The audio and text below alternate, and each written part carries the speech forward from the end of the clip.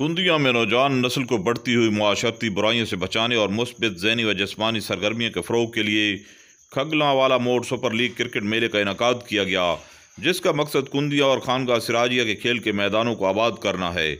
मुनदा eight league tournament में कुंदिया चश्मा की बेहतरीन टीमों ने हिस्सा लिया। Final match Mehrban cricket club और राना एहतशाम क्रिकेट क्लब के दरमियान खेला गया। जिसमें मेहरबान क्रिकेट क्लब ने 125 रन का टारगेट दिया, जिसके जवाब में एहतशाम क्लब के ऑलराउंडर इमरान मुरली ने बेहतरीन खेल पेश किया। एहतशाम क्लब ने अपना हदफ हासिल करते हुए फाइनल में कामयाबी हासिल की। यूँ Imran Murli man of the match करार पाए। टूर्नामेंट के चीफ ऑर्गेनाइजर मलिक मेहरबान तिलोकर, मलिक गुलाम रिबानी तिलोकर ने बेहतरीन खेल पर खिलाड़ियों में नकद इनाम तकसीम किए। मैच के chief guest DME railway Gulhasan ने मैच जीतने वाली टीमों में इनाम तकसीम किए। मलिक गुलाम रबानी तिलोकर और आबिद भचर ने टूर्नामेंट के लिए खसूसी ताउन किया।